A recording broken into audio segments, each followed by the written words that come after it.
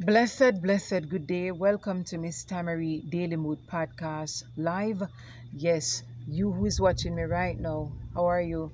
I hope all is well with you. Yeah, Wagwan.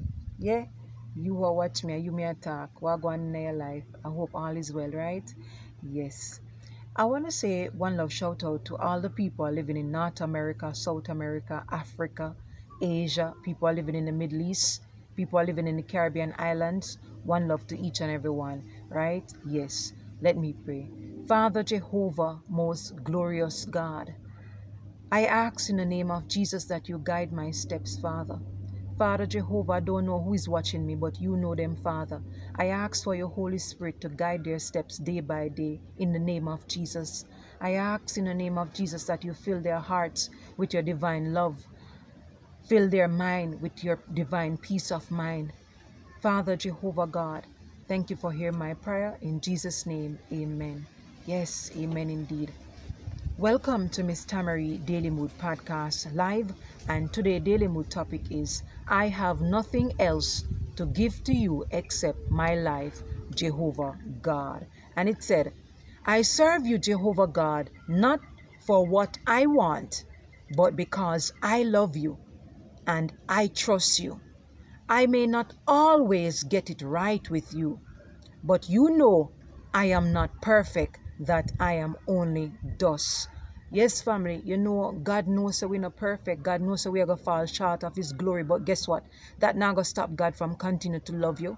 Yes, that not going to stop God from continuing to love you. So what you have to do? Continue to trust God. Continue to, you know, ask God to forgive you of your sins, right? Because guess what? God knows say we are imperfect human being and that this world is imperfect, right? Yes, God knows that we are going to slip up one and two time, family. But what we feel if we continue to trust God, continue to stay faithful to God, right? Because God knows that we are going to slip up, we are going to fall short of His glory, right? So what we feel do? continue to trust Jehovah God, right, family, and stay faithful right? Because God knows that we are imperfect human being and that this world is imperfect, right? And we are only dust.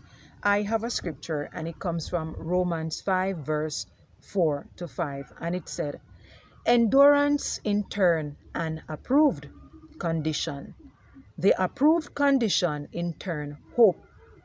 And the hope does not lead to disappointment because the love of God has been poured out into our hearts through the Holy Spirit, which was given to us. So, what is the scripture in Romans 5, verse 4 to 5 is saying to us, family? It is saying to us, we as faithful Christians, we are going to endure trials, right?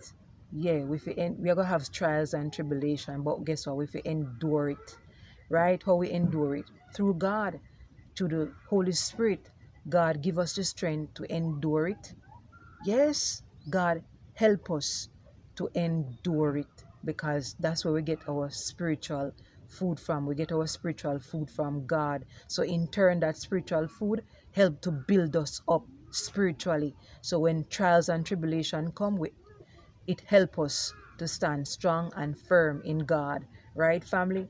Yes. I want you to read the scriptures of Romans 5, verse 4 to 5 for yourselves, family, and apply it in your life. And when you read that scripture, ask yourself, what is the scripture saying to me about myself?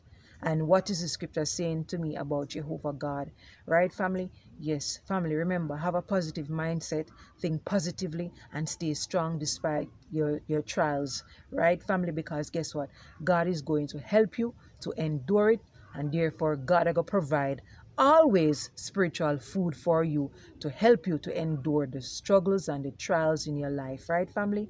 Yes, one love to each and every one. May the good Lord bless you. Thank you.